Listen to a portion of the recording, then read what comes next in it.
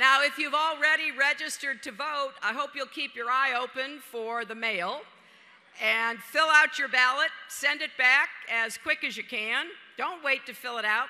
Don't do what I do, put it on the kitchen counter, and then you put something else on top of it and something else, and pretty soon you're wondering, where is that ballot? I know it came here a few days ago.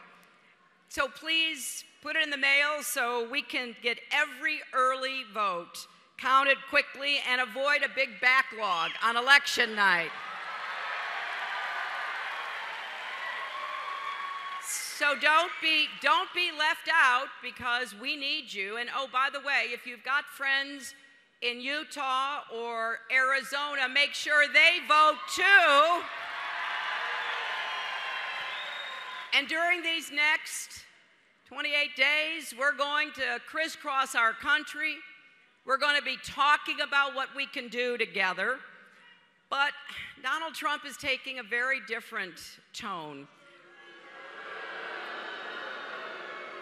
His campaign, his campaign said today that they're going to use a quote scorched earth strategy for the remaining four weeks of this race. Now that just shows how desperate they are. That's all they have left pure negativity, pessimism, and we're not going to let Donald Trump get away with it, are we?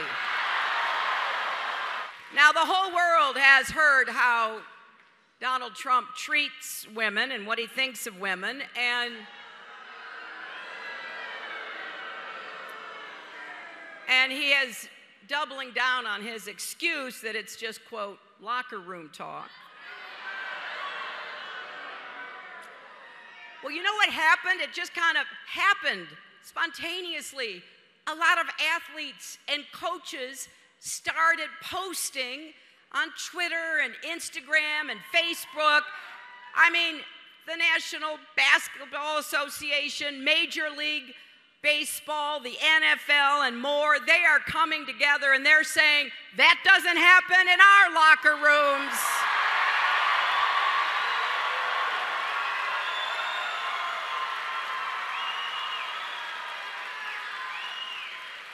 Course, you know it's not only women that he has disrespected, he's insulted practically everybody. He went after a distinguished federal judge, Judge Curiel, who was born in Indiana. And Trump said, well, he couldn't be trusted because his parents were Mexican.